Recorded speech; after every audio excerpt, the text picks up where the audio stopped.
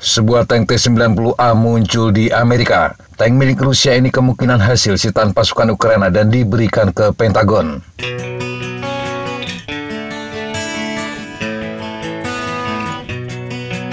Sejumlah gambar yang diterbitkan 13 April 2023 menunjukkan tank itu di bawah sebuah truk di Amerika. Geolokasi yang dilakukan menunjukkan foto itu diambil di Louisiana. Diyakini tank tersebut telah atau akan menjalani penelitian. Munculnya T-90 Rusia di Amerika sudah diperkirakan sebelumnya. Pada September 2022 muncul laporan tank T-90 Rusia direbut dalam kondisi hampir utuh. Namun laporan saat itu menyebutkan tank yang disita adalah modernisasi terbaru yang dikenal sebagai T-90M.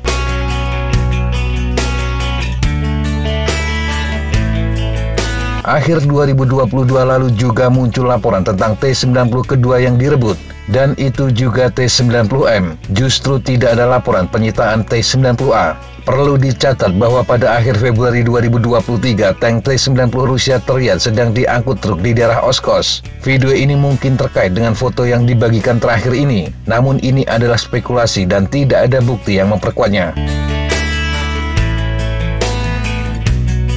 Foto juga memunculkan sejumlah kontroversi. Beberapa komentar mengatakan bahwa itu bukan T-90 tetapi T-72.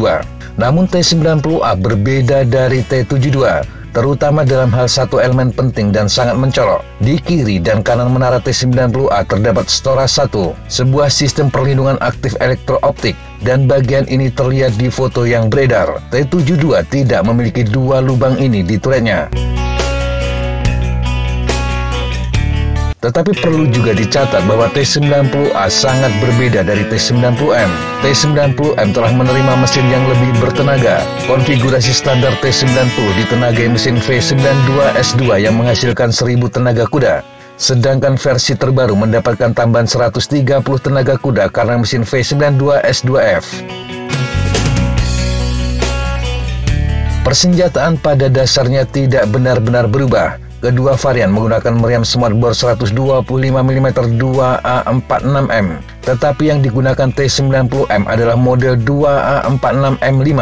Model ini menyediakan penggunaan amunisi baru berkekuatan tinggi. Selain itu juga bisa menggunakan rudal yang memungkinkan menghancurkan tank musuh pada jarak hingga 5 km. Persenjataan sekunder kedua tank sama yaitu senapan mesin 12,7 dan 62 mm.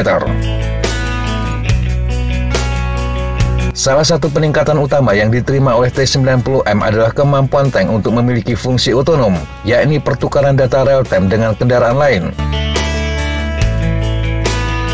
Tank juga telah meningkatkan pembidik optik. Varian ini menggunakan pembidik Sosna baru, empat kamera video yang menyediakan cakupan 360 derajat, serta pembidik optik siang dan malam baru, termasuk kamera thermal yang mendeteksi target musuh pada jarak 3.300 meter.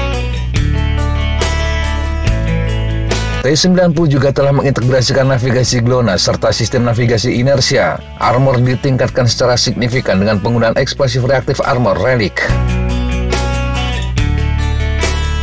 Karena ada bukti visual ada T-90M yang direbut, maka kemungkinan besar tank itu juga sudah dikirim ke Amerika. Ini tentu menjadi kerugian tersendiri karena T-90M adalah tank tercanggih Rusia. Ini mengingat T-14 Armata belum secara resmi masuk operasional dan belum masuk produksi massal. Yang jelas kemunculan tank Rusia di Amerika ini menunjukkan Pentagon menggunakan perang Ukraina untuk mempelajari senjata Rusia dan hampir pasti Rusia juga demikian. Banyaknya senjata barat yang masuk ke Ukraina dan disita akan menjadi sumber intelijen yang cukup berharga.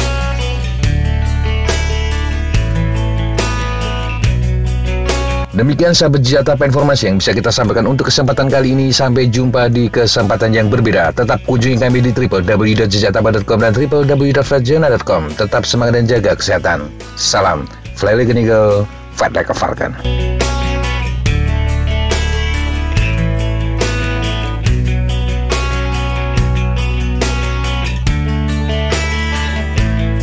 Looks like that's I'm to take today. Okay, sir. Thanks for coming. up good. Hey, thank you guys. Appreciate it.